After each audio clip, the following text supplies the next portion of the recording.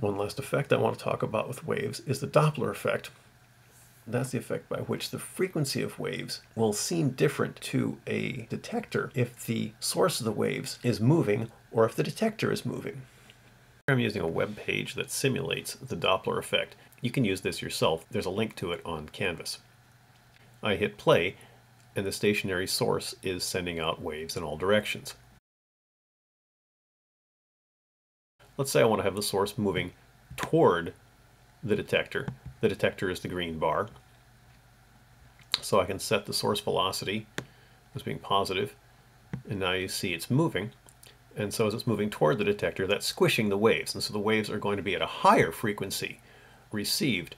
We can do the same thing if I just have it going in the opposite direction. And then as the source moves away from the detector, then they're at a lower frequency. So now what if the source holds still? If the observer moves toward the source?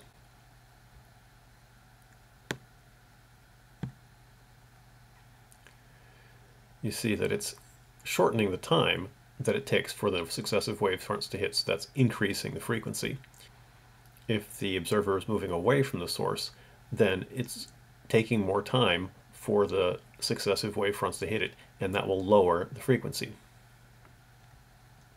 What if the source is moving at the speed of the wave? Notice that all the wave fronts are just piling up on the leading edge, and you're getting a shock front.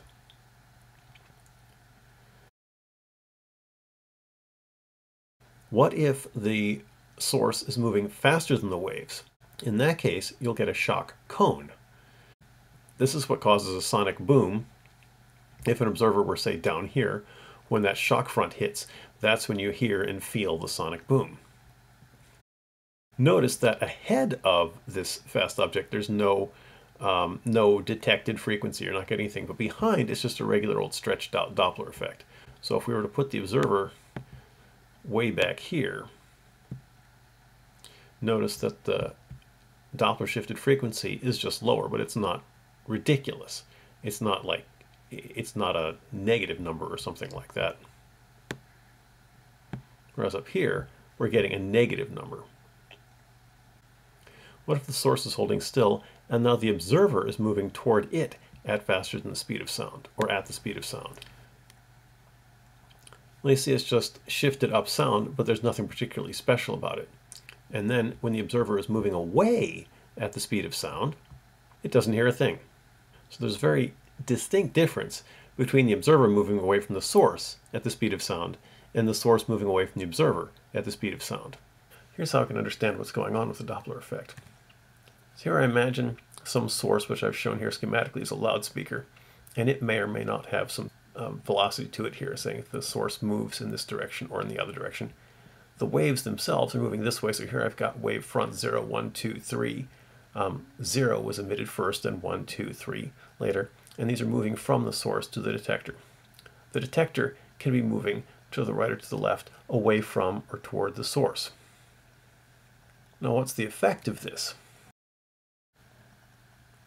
If the source moves and the detector is holding still, if the source is moving toward the detector, then the next wave front is going to be emitted closer to the detector than the first wave front. The wave as it's received by the detector is going to have a shorter wavelength, which will correspond to a higher frequency. By the same token, if the source is moving away from the detector, it'll have a longer wavelength and a lower frequency. Effectively, the wave speed is faster than otherwise. Because the wave speed depends on wavelength and frequency, changing the wavelength or changing the wave speed is going to change the frequency.